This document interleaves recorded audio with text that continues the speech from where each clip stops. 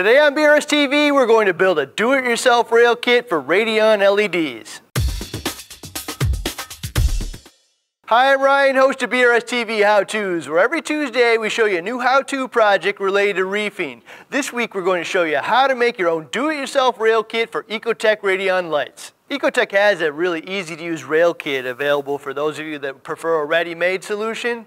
For you DIYers out there, this project's super easy, results in something attractive, sturdy, and better yet hides all the cords. Cords are the mortal enemy of a sleek, attractive look. This do-it-yourself rail kit not only routes all the power cords, but also provides a place to hide the excess wire from the hanging kit. You're going to need seven tools for this. A hacksaw, cheap miter box, a measuring tape, Allen wrench, marker, drill, and a few grades of steel wool. The materials required for this project are the Radion hanging kit, some C-channel aluminum bar, and some stainless steel screws. These are going to be a little bit longer than the C-channel that you're working with. The screws I used are 16 millimeter. These items can be found at your big box hardware store, but I've actually had the most luck finding these at a local hardware store. The aluminum C-channel we're looking for is about a half inch tall and about 7 8 inch wide, which is the lowest profile option that I've found that works. Take a moment to find the cleanest one you can with as few scratches as possible.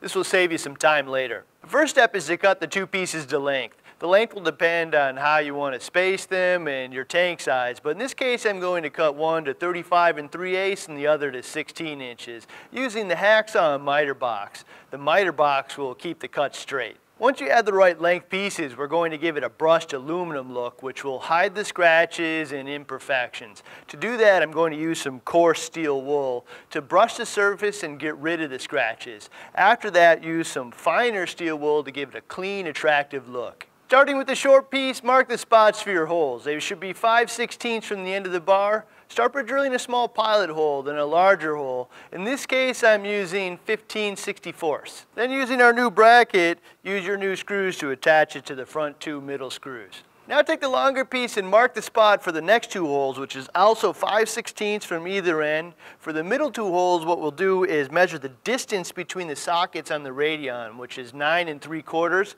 From the spot where you drilled the first hole, measure out 9 and 3 quarters to spot your next hole. Do the same on the other side and drill. Before you assemble everything, make sure that you route your power cord through the C channel here.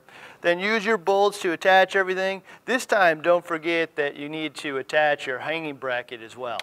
Only thing left is to hang the light. Slide in the cables, adjust the height, and slip the excess cable into the sides of the mounting rail.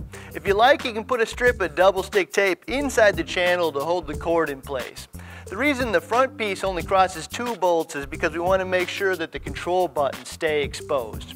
So the end result of this project is pretty gratifying. My favorite part is we went from a slew of cords to something where the cords are barely visible.